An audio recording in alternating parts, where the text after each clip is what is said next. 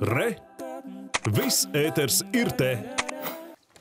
Bet maija pēdējā nedēļa ir izsludināta par nieru veselības nedēļu, un tajā mediķi vērsīs sabiedrības uzmanību saulaicīgām veselības pārbaudēm un hroniskas nieru slimības riskiem, kuri bieži iestājas cilvēkiem jūtoties pilnīgi veseliem. Jā, un uz sarunu mums eh, šobrīd pievienojas Latvijas nefrologu asociācijas vadītāja Rīgas Stradiņu universitātes vadošā pētniece un docente Ieva Ziediņa. Labrīt! Labrīt! Labrīt. Jā, un ikdienā strādājot nozarē, un, protams, arī redzot to aktuālo situāciju, kādu ainu jūs iezīmētu par iedzīvotāju nieru veselību mūsu valstī? Nu, tieši par Latviju pētījumi nav veikti, bet ir veikti pētījumi par Eiropu. Un taisni tāpēc mēs arī rīkojam šo nieru veselības nedēļu, jo ir pierādīts, ka Eiropā katrs desmitais iedzīvotājs sirgst ar samazinātu nieru funkciju. Un var būt tā, ka pirmajās stadijās um, cilvēki nejūt, ka nieru funkcija ir samazināta, nekādu simptomu nav, un to var diagnosticēt tikai veicot asins un urīna analīzes. Tāpēc mēs gribam pievērst šo cilvēku uzmanību, lai viņi to apzinātos un aiziet līdz ārstam veiktu šīs asins un urīna analīzes. Jā, ir ikdienā. Nu, cik daudz vispār apzinās to veikt šīs analīzes, doties pie ārsta, pārbaudīties, jo nu, ikdienā varētu šis daudziem, man ar veselību viss ir kārtībā. Kāda jēga man tur doties? Ja, nu? Jā, uz jautājumu, cik daudzi to apzinās, nevaru atbildēt. Bet es domāju, ka it sevišķi par pa, pa pandēmijas laiku cilvēki negāja pie ārsta. Un pat tie, kas sirgst ar hroniskām slimībām, zvanīja ārstam, lai saņemtu recepts un nemaz neaizgāja līdz ārstam un neveica analīzes. Tāpēc domāju, šobrīd tieši tas brīdis, kad mēs varam atkal piedomāt par savu veselību un izdarīt savus veselības labā reizi gadā vēlamās pārbaudes, tā skaitā asins un urīna analīzi. Jā, jo, protams, mēs zinām, ka ir viena grupa, kurai varbūt nekas nekait, un tāpēc viņi nedodas pie ārsta, bet ir jau arī vēl vesela grupa, kurai kaut kādas sūdzības jau parādās, un viņi tik un tā daudz ko piecieš un nedodas pie ārsta. Tāpēc droši vien būtiski atgādināt arī tieši nieru veselības kontekstā, ar ko tad šīs problēmas var beigties. Nu, kādi var būt tie bēdīgie un drūmie scenāriji, ja tiešām cilvēki ilgstoši to palīdzību nesaņem? Nu, jā, Tieši tā, un, un, un jūs sākumā minējāt, kuri tie, kuriem noteikti vajadzētu aiziet pie ārsta, tie ir cilvēki, kuri ir paaugstinātā nieru slimības riska grupā, un tie ir pacienti, kas sirgst ar cukura diabētu, ar arteriālo hipertenziju un arī ar aptaukošanos.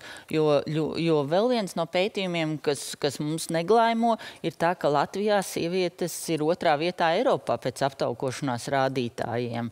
Un, viņām arī noteikti vajadzētu aiziet pie ārsta un pārbaudīt gan asins, gan urīna analīzes.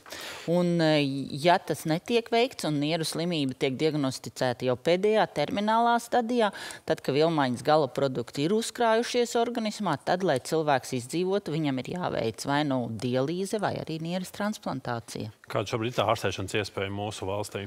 Pilnīgi visiem cilvēkiem tiek nodrošināts no valsts līdzekļiem. Nevienam netiek atteikts. Jā. Tā kā ārstēšanās iespējas ir, diagnostikas iespējas ir, pietrūkst, pietrūkst varbūt tā pašu vēlme. Ja, nu, ar dialīzi jau mēs nierslimību izārstēt nevaram. Mēs varam tikai uzturēt cilvēku pie dzīvības.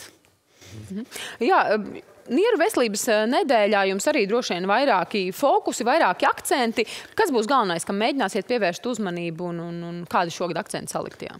tas galvenais akcents, ko mēs tiešām gribam nodot to ziņu, lūdzu aiziet pēc pandēmijas pie ārsta, izmērat savu asinsspiedienu, veicat asins un arī urīna analīzes.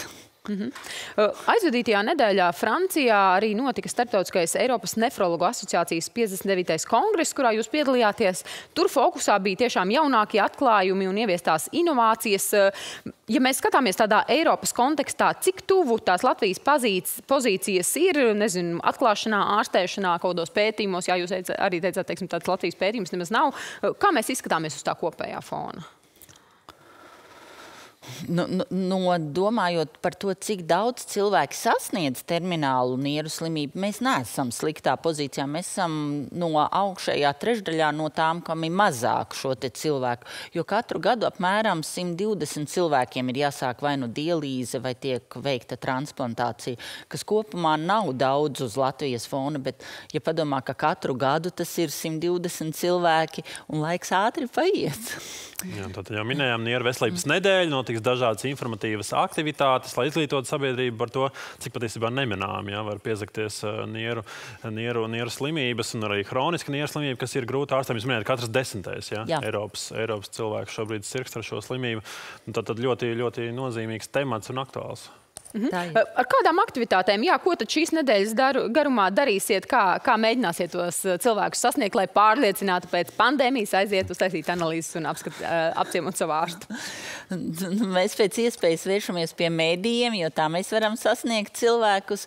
Protams, un arī nedēļas noslēgumā mēs Pauls Stradīna Kliniskā universitātes slimnīcā rīkojam bezmaksas konsultācijas interesantiem, kas pierakstīsies pa telefonu numuru tad, eh, lai cilvēki var atnākt ar šīm savām asins un urīna analīzēm, un mēs palīdzam viņiem interpretēt, vai tās izmaiņas tur ir nozīmīgas.